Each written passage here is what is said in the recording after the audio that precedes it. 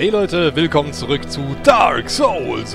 Ja, ich mache dieses Mal ausnahmsweise eine Offline-Session. Ich habe das ja, glaube ich, schon im Bulletin gesagt. Ich war nämlich bis eben weg. Wir haben jetzt kurz vor 8 am Sonntag und ich konnte heute Mittag leider nicht aufnehmen, da ich beschäftigt war. Naja, ich will mal so sagen, ich bin hundemüde. Ich habe die letzten 3-4 Nächte vielleicht pro Nacht zwei Stunden gepennt. Es ist so beschissen, das Wetter. Also es ist viel zu schwül und zu warm. Und ich glaube, ich ziehe heute Nacht um in den Keller mit meiner Matratze. Ich hole mir dann eine aufblasbare und dann... Also Matratze nicht, was ihr jetzt denkt. äh, ja. My father, he went on his final adventure. Don't worry, that's just the way he is, undead or no.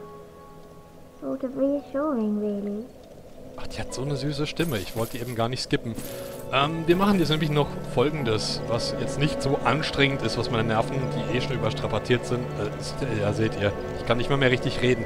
Meine Nerven, die überstrapaziert sind, dass die nicht noch weiter gequält werden. Und zwar, wir machen die Questlines von Siegmeier und von Logan fertig. Ja, ist eigentlich ganz easy. Dafür mache ich jetzt wieder einen kleinen Zeitsprung. Ich gehe runter zur Tochter des Chaos. Und von dort aus könnt ihr euch ja denken, wo ich hingehe. Nämlich zum alten Baum runter zum Arschesee. Ihr solltet eigentlich noch wissen, wo der ist. Da habe ich ja ganz am Anfang mal gezeigt, wie ihr an diesen Ring kommt, diesen Ausdauerregenerationsring. Und ähm, ja, wir sehen uns gleich vor diesem Baum. Tada, Leute, Zeitsprung. Jetzt sind wir hier vom Baum. Hat auch gar nicht lange gedauert, zum Glück. Mit dem verrosteten Eisenring geht es ja recht schnell. Man kommt hier ganz gut durch die Suppe durch. So, warte mal. Ich werde jetzt mal den dunklen wieder nehmen. Und ich werde mir jetzt einen Zauber nehmen, weil das hier muss schnell gehen. Weil ich weiß nicht, wie lange ich noch insgesamt dafür brauche, aber ich möchte die Questlines ja nicht ewig hinstrecken. Ich überziehe in letzter Zeit wieder ganz schön oft meine Videos. Das gefällt mir nicht. Wenn ich da jedes Mal dann so 25 Minuten Parts. Ich hasse das auch, wenn ich mir eine Serie, so eine Lieblingsserie angucke und die Folgen sind unterschiedlich lang. Da kriege ich... Boah, nee. Mag jetzt übertrieben sein, aber das, das geht gar nicht. Nee, nee, nee, so. Kurz mal am Leuchtfeuer hinsetzen, weil wir waren vergiftet. Aber meine Paladin-Rüstung, die ist eigentlich recht widerstandsfähig gegen den ganzen Mist. So, ich habe es euch ja damals gezeigt. Und zwar, wenn ihr es jetzt noch nicht habt, das Ding. Einfach hier eine Rolle runter machen, dann landet ihr in dem Baumstumpf da unter mir. Den sieht man jetzt ein bisschen blöd. Ja, hier. Da unten liegt nämlich, da sitzt eine Leiche. Die seht ihr jetzt, schaut mal ganz unten in der Mitte. Und der hat diesen Ausdauerring. Den könnt ihr euch da holen und glücklich werden. So, was nehme ich jetzt? Achso, warte mal, ich muss immer ans Leuchtfeuer. Muss nur noch kurz einen Zauber und einen Gegenstand holen, weil ich finde es damit leichter. Da kriegt man mehr Boni, also mehr Items kann man sich da abholen. Besser gesagt. So, und zwar ist das einmal... Ich hoffe, ich habe den überhaupt noch. Ja, Wappenring ruhender Drache. Und, äh, genau, Zauberei einstimmen wäre vielleicht auch nicht verkehrt. Dann nehme ich dafür... Ist das jetzt ein normaler oder ist das ein Kristallseenspeer? Ach, das sind alles drei Kristall... Ja, okay. Dafür nehme ich... Wo haben wir's? oh. Ich bin so im Eimer, Leute. Ich habe jetzt so viel Kaffee in mich reingepumpt bei meinen Leuten, wo ich eben war. Dass ich da nicht irgendwie im Sitzen eingepennt bin, war ein Wunder. Mit einer halben Bratwurst im Mundwinkel. So ungefähr kann man sich das vorstellen. Also wirklich, es ist ganz schlimm.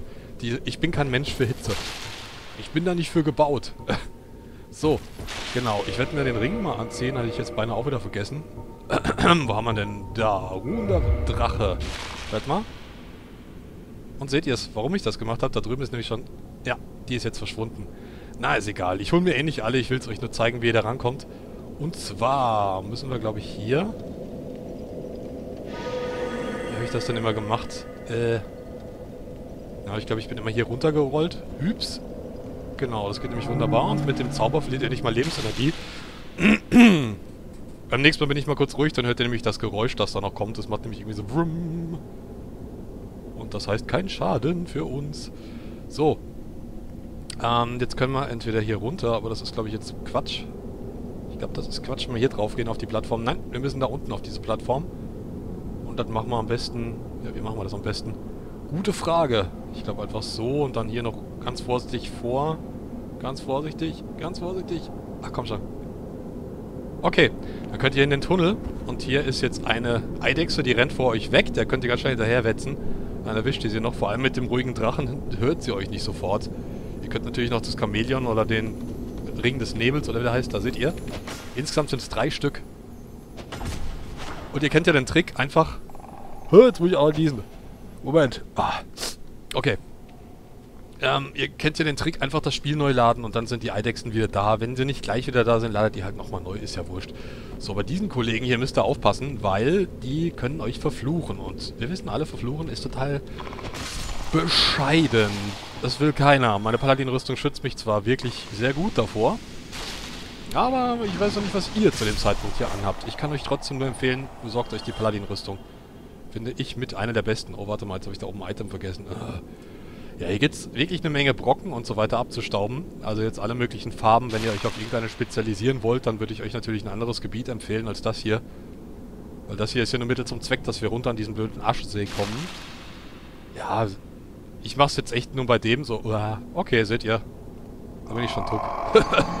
ja, ich wollte nämlich noch sagen, ich mach's jetzt nur bei diesem Item so. Weil ich habe ja keine Zeit, Leute. Ich will jetzt nicht jedes einzelne Item zeigen, wie man das einsammelt. Das müsst ihr dann bitte mal selbst rausfinden in dem Moment. Weil es gibt kein Patentrezept. Bin ich zumindest der Meinung, weil vieles ist Glück. Man kann ganz leicht die Äste runterglitschen und dann hängt man da wieder irgendwo und stirbt und bläh. Blarks. Das ist dann halt doof. Kann ich auch nichts dran ändern. Guck mal, die, die Schweinesau, die hat mich gesehen und haut gleich wieder ab. Na sowas. So, hier hin.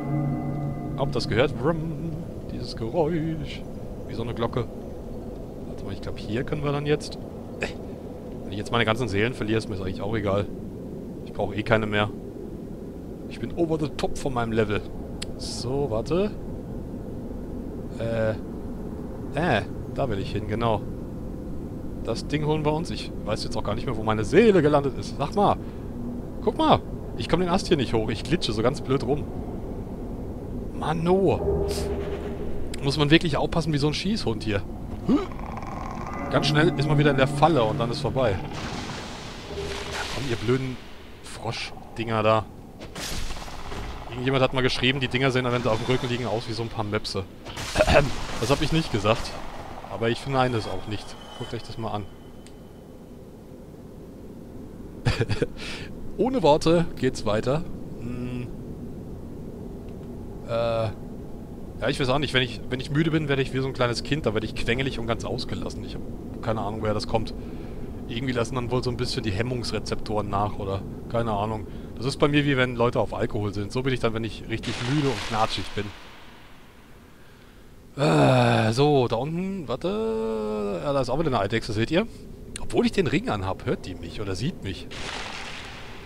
Naja, ihr könnt hier Ring des Nebels, den kriegt ihr, wenn ihr die Schädellaterne bei Snuggly eintauscht. Dann habt ihr den Ring des Nebels. Ich weiß gar nicht, ob ich den in der Kiste drin habe. Wäre jetzt interessant zu wissen, aber gut. Macht Ah, ich habe den Zauber nicht mehr gehabt. Seht ihr? Haha, habe ich Lebensenergie verloren. Also macht keinen Unterschied. Äh, weil die paar Eidechsen kann ich darauf verzichten. Die haben im meisten Fall Inno Twinkle oder Funkeltitanit. Twinkle Titanite heißt es auf Englisch. Oder halt irgendwie eine besondere Farbe. In dem Fall hier ist es, glaube ich, sehr oft weiß und rot. Bin mir nicht so sicher. Auf jeden Fall habe ich ja schon eine graue, wie ihr gesehen habt. Wie komme ich da jetzt ran? Warte mal. Ja, ich habe gesagt, ich mache nicht alles, weil ich habe jetzt eh schon zwei, drei verpasst, das weiß ich. Da liegen überall hier Dinge auf den Plattformen und wenn man die wirklich alle holen will, dann kann man da so, so vier, fünf Mal rummachen, wenn man lustig ist. Achso, hier irgendwo gibt es auch eine Abkürzung. Äh, da führt dann nämlich eine Leiter runter. Da kann man komplett mit der Leiter fast hochsteigen. Also man kommt definitiv, wenn man auf dem Boden ist, wieder ganz nach oben zurück. Also das war natürlich jetzt toll. Das war toll, Bruder. Das hast du super gemacht. Jetzt kommst du ja nicht mehr weg. Äh. Na, geile Sache. Ja, ich glaube, ich werde jetzt mal sterben gehen, oder? Na, warte mal, wir versuchen es mal. Weil mit dem Zauber hier kann man es manchmal noch überleben. Manchmal, aber nur manchmal. Na, ich sterbe. Nein? Haha, habt das gesehen? Ich habe nicht mal Schaden gekriegt, wie geil. Äh, okay, auf jeden Fall auf dem Ast hier lag noch was. Ist mir egal. Dann, wo liegt noch was? Ich glaube, hier gibt es jetzt ein Item. Genau, das ist auch sehr, sehr tricky, das zu kriegen. Muss man hier so genau an der Wurzel und dann rein. Und ich hab's gekriegt. Ich hätte es gekriegt, aber ich will es nicht. Ist mir egal, das sind nur ein paar Splitter. Ich hab eilig. So, irgendwo hier kann man dann an der Seite runterspringen. Ich kann, ich kann mir die Stelle nie merken, Leute. Ich weiß auch nicht. Das ist für mich immer noch ein Rätsel, weil man sieht so, wenn man jetzt hier weiter runterläuft, dann liegt hier noch ein Item auf der Wurzel irgendwo oben drauf. Da, wartet, Achtung. Gleich müsste es uns ins Gesichtsfeld springen. Da. Aber ich kann mir nie die Stelle merken, wo es hier oben runter geht. Vor allem, es ist halt mehr so ein Leap of Faith. Also, man springt halt und, äh, ich sag mal, zu 50% wird man wahrscheinlich draufgehen, weil man muss dann hier noch diese Äste da runter und dann da runter springen. Ich weiß auch gar nicht mehr, was für ein Item das ist. Hier habe ich überhaupt das schlechteste Item-Gedächtnis überhaupt. Also in dem Baum hier. Weil der ist halt, äh, ja, bescheuert. Ich bin immer froh, wenn ich da unten bin, ohne zu sterben. Und trotzdem passiert noch öfter. So, hier kommen wieder unsere Freunde, die blöden Pilze, die fast unverwundbar sind. Ja, die sind nicht fast unverwundbar, aber die halten wirklich sehr viel aus und die können auch ganz schnell zuhauen, die Großen. Und die Kleinen sind dazu äh, noch hier ja aggressiv. Früher sind die immer vor uns weggelaufen, also ganz friedlich einfach nur rumgetapst und hier greifen sie uns jetzt an. An so einen Bauchplatscher auf uns. Ja, das ist sehr nett. So, warte mal. Da drüben komme ich auch noch hin. Das ist, glaube ich, eine rote... Eine rote Scherbe. Müsste. Ja, ich glaube, das müsste eine rote sein. Warte. Nein, ein grauer Brocken, verdammt. ja, pff, ich wiederhole nochmal. Ich habe hier ein ganz schlechtes Itemgedächtnis. Außer, wenn ihr alle Wunder haben wollt, dann wird euch hier auf jeden Fall noch was hinziehen. Denn hier unten gibt es ein letztes Wunder. Das könnt ihr euch holen, beziehungsweise müsst ihr euch holen. Oh, guck mal, da ist einer ganz runtergefallen. Haha. Oh, die großen Pilze. Die lasse ich mal alle in Ruhe hier. Ich gehe einfach weiter. Ich habe jetzt nämlich keinen Bock auf euch. Äh, und jetzt müsste irgendwo Siegmeier aufstehen.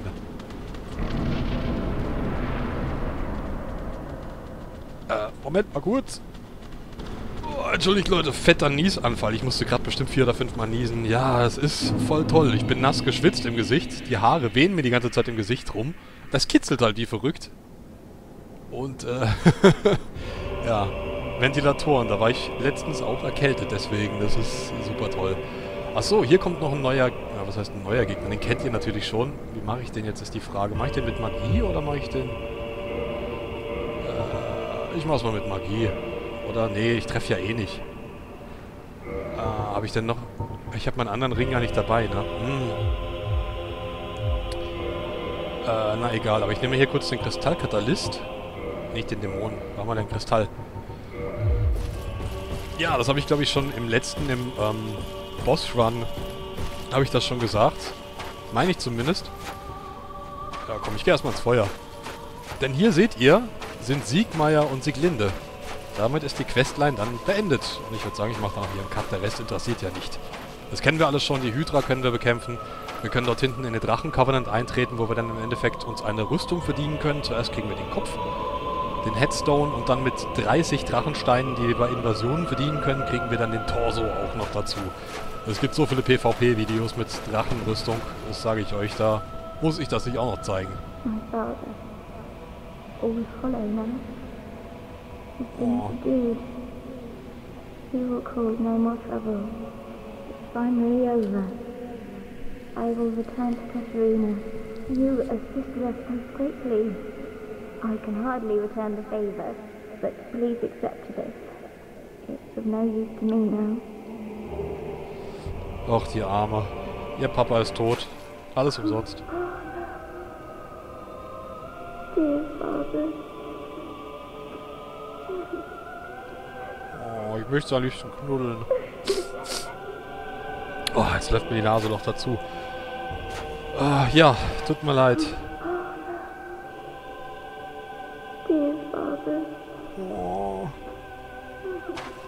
So leid. ja, wir können leider nichts mehr tun für Siegmeier. Damit ist die Questline vorbei. Ich weiß nicht, wenn ihr eine Möglichkeit wisst, wie er am Leben bleiben kann, könnt ihr es ja gerne schreiben. Aber in der Wiki steht jetzt auch nichts. Das sind alles so unbestätigte Texte. Die sind halt in Rot geschrieben, deswegen weiß man nicht, ob stimmt. Gut, Leute, ich würde sagen, nächste Station ist dann das Archiv des Herzogs noch einmal. Ja, da müssen wir jetzt nochmal hin für Logans Questline. Und wir sehen uns gleich wieder dort. Alles klar. Und hier am Leuchtfeuer. Jetzt wollen wir doch mal schauen, was der gute Logan macht. Ist er noch da? Ist er nicht da? Man weiß es nicht. Manchmal muss man nämlich auch das Spiel neu starten. Sonst findet das Event nicht statt. Und er sitzt noch da. Hallo Logan. Who are you? Stay clear. Stay clear of my work. Curses upon you. How dare you disturb me? Ja, er ist ein bisschen durchgedreht. Aber ihr müsst halt alle Zauber von ihm kaufen. Das habe ich schon mal gesagt alle Zauber kaufen, dann Seath töten, ihn natürlich vorher aus dem Knast befreien, ganz wichtig. Okay, der sagt jetzt immer dasselbe. Was machen wir als nächstes? Ja, wir holen uns noch die magische Glut. 20.000 Seelen in einem Pack. Also richtig, richtig super Seelending eben. Und noch etwas, von dem ich schon mal erzählt habe, weil ihr habt ja schon gefragt, wie kriegt man Logans Katalysator. Also, ja, Catalyst. Ich sage halt immer Katalysator, obwohl es Beschleuniger heißt auf Deutsch. Aber ich meine, das ist ja im Prinzip auch egal. Ist ja beides dasselbe. Katalysator oder Beschleuniger. So, dann gehen wir einfach mal hier wieder zurück. Oh, vor dem hier aufpassen. Der stinkt. Nach Kristall. Ich weiß auch nicht, wie Kristall stinkt, aber der Typ stinkt halt, weil er mich nervt. So, wir trinken schnell einen Schluck. Die können wir jetzt alle killen, die ganzen Bogenfuzis, aber die stören uns nicht weiter. Wow, der stört aber. Okay. Wenn der Hebel, also wenn dieser Aufzug hier nicht da ist, jetzt kommen die halt mit hoch. Was fällt euch ein? Einfach hier an der Seite am Hebel ziehen, dann ist das Ding auch da. Sag mal, deswegen mag ich euch nicht, weil ihr so blöd seid, weil ihr so nervige Attacken habt und einen so dumm anrempelt, wie so freche kleine Rabauken. So, jetzt ist aber gut. Trinken wir nochmal einen Schluck, weil es sein muss. So. Jetzt laufen wir wieder hier hoch. Der Kristalltypi ist nicht mehr da. Den haben wir ja auch schon beseitigt und es ist keiner, der respawnt. So, ich kann mir schon denken, dass er nicht da ist. Deswegen muss ich das Spiel gleich beenden und nochmal neu starten. Aber das werde ich natürlich auch ausschneiden, weil die Minute, die könnte schon wichtig sein. Ja, seht ihr? Hier war Seed vorher drin, jetzt ist er nicht mehr da. Aber mal gucken, was ist denn in der Kiste? Merket, Kette aufgerollt gegen den Uhrzeigersinn, das heißt, die ist sicher. Und wir kriegen die Zauberglut. Ach nee, das ist ja die Enchanted, nicht die Magic. Ja, okay, hab mich geirrt. Magic geht ja bis plus 10 und Enchanted bis plus 5. So, und hier haben wir die 20.000er Seele, von der ich erzählt habe. Das ist, glaube ich, die einzige im ganzen Spiel. Es gibt sonst keine mehr, die 20.000 gibt. Oh, guck mal, da ist er, glaube ich, schon. Hast du das gesehen? Ja, oder habe ich mich gerade... Ich glaube, ich habe mich verguckt hier. Das sah eben wirklich so aus. Wie die Silhouette von einem Menschen, der da im Bogen drin stand. Na, egal. Ich werde mal hier kurz restarten. Und wir sehen uns sofort wieder. Schawups. Und sind wir wieder hier. Und seht mal, wer da ist. Haha. ja, der Nackedei. Das war aber ursprünglich Logan. Wir machen es mal ganz auf die feige PvP-Tour. Legstabben. Aber irgendwie will der nicht. Der lässt sich nicht legstabben, dann kicken wir mal ein bisschen. Na, Logan, mein Freund. Warum bist du denn so voll Logan? Ha, ha. Ja, das ist der Großhut Logan. Hör doch mal auf jetzt, deiner Kinderkacke. Lass mich doch mal in deinen Rücken. Ich will ja nur ein bisschen... Ja, jetzt zaubert er wieder. Das ist gut. Dann ist er nämlich kurz bewegungsunfähig. Na komm, Zauber. Zauber. Du Zauberer. Och, Logan. Logan. Na, dann halt nicht. Machen wir es auf die alte, herkömmliche Methode. So lange hauen, bis er keine Ausdauer mehr hat. Der hat nämlich überhaupt keine Chance gegen uns. Das arme Würstchen. Und was kriegen wir? Den Drachenhauch und seinen Beschleuniger und seinen Spitzhut. Den, den ich auch mit Sorsha trage übrigens. Ab und zu mal. Also ich habe eigentlich die Dark Raid Rüstung. So, ja gut. Ich habe jetzt mich ein bisschen in der Zeit vertan. Denn viel kommt jetzt nicht mehr. Wir gehen jetzt einfach wieder runter. Da, wo wir herkamen. Wir können nicht mit dem Aufzug wieder runterfahren. Das dauert ja auch nicht unbedingt so lange. Aber jetzt wisst ihr Bescheid. Der Katalyst, der Beschleuniger, der ist eigentlich ziemlich gut. Will ich euch hier nochmal anschaulich machen. Wir haben E auf Stärke. Das ist jetzt für uns uninteressant. Beziehungsweise auch für die meisten Zauberer. Und wir haben ein S auf Intelligenz. Ich kann den Hebel gar nicht ziehen, wenn ich das... Okay. Na, ne. So, jetzt. S auf Intelligenz heißt für uns 230 Magiebonus. Aber da ich nicht so viel Intelligenz habe, gerade mal am Minimum, um eben die Kristallseelenpfeile, Seelenspeere benutzen zu können, pardon, ist es halt eben nicht so der Bringer, das Teil. Wenn ihr wirklich nur auf Intelligenz geht, ist er, glaube ich, ab einer gewissen Menge... Ich habe da irgendwo mal gelesen auf der Wiki, die sagten wohl sowas mit 60, 70. Dann wäre das Ding wohl besser als der Kristallkatalyst. Weil es halt eben der einzige mit S auf Intelligenz ist. Ne?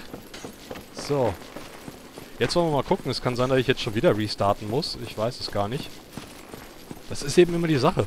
Das, das finde ich ehrlich gesagt auch ziemlich doof, dass da nicht währenddessen, während man irgendwas in Gang setzt, dass dann hier schon was verändert wird. Nein, man muss restarten. Wer kommt denn auf die Idee? Wenn die Leute sich untereinander nicht absprechen würden und einer sagen würde, oh, ich habe da was rausgefunden und dann, ich glaube, das würden Leute heute noch nicht wissen. Die Hälfte der Gemeinschaft, die das eben spielt. Der harte Kern der Dark Souls Liebhaber. Oh, schön. Okay, Leute, ich restarte mal. Jo, da sind wir wieder und die Kiste ist auch da. Äh, ich wollte noch kurz was loswerden und zwar, eigentlich hätte letzte Woche am Donnerstag ja PvP mit dem John und mir stattfinden sollen. Und da kriegen wir die restlichen Klamotten und nochmal den Beschleuniger. Okay, habe ich ihn halt dreimal jetzt. Das muss ich... Ja, das haben wir leider verschieben müssen. Nee. Hä? Ach, den Kristallzinnbeschleuniger habe ich da nochmal gekriegt. Okay, okay, okay. Sorry. Also hier unten kriegt man Logans, oben kriegt man den Kristall von Logan selbst. Ähm, genau, donnerstags hätte eigentlich PvP sein sollen, wurde leider abgesagt, weil der John, der hatte noch ein paar Level-Unterschied, noch die Differenz zu meinem Charakter, dass wir uns eben leichter beschweren können, musste ausgeglichen werden. Und er hatte einfach nicht die Zeit, weil er so viel Arbeit hatte, sagte er.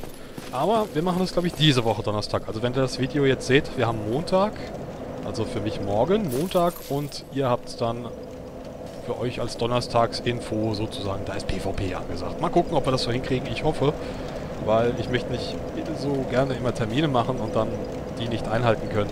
Beziehungsweise, ich finde das immer doof so ein bisschen. Dann habe ich da immer so die Hummeln im Hintern. Naja, gut Leute, das war's für diesen Part. War nicht unbedingt sehr spannend, aber informativ, hoffe ich doch. Und ich sage schon mal bis zum nächsten Mal mit Dark Souls.